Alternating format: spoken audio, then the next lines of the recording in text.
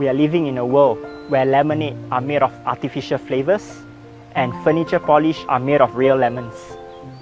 Society brainwash to admire fake body just to fit in instead of appreciating the body we have. We count calories instead of counting chemicals.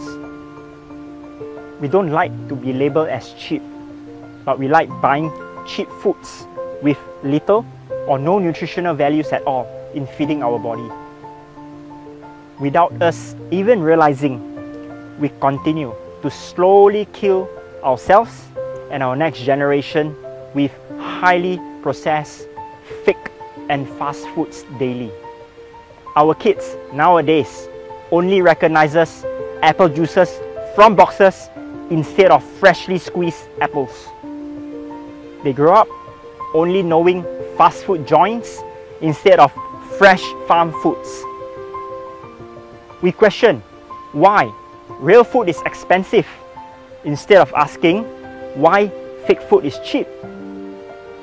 We applaud what's cool instead of recognizing farmers who works hard in giving us food. Technology gets more advanced, but yet more people are getting sicker.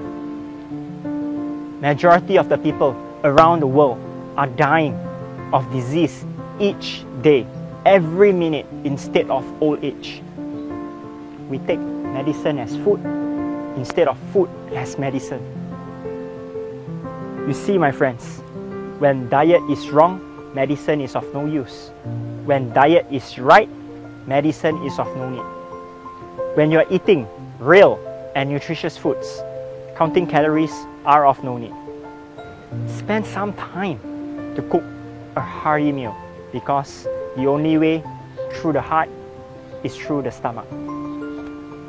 Get to know your food source. Show our kids the place where food is grown.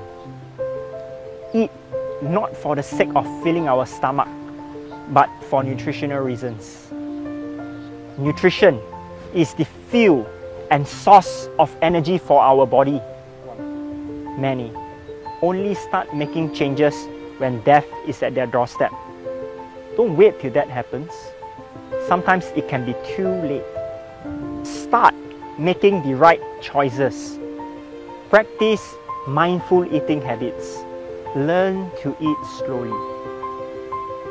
Stop comparing our body to the ones in the beauty magazines because each of us are unique and beautiful in our own ways. Start living right because our body is the only temple we live in. This is Mark Leong. I hope to make the world a better place by starting to make it a healthier place.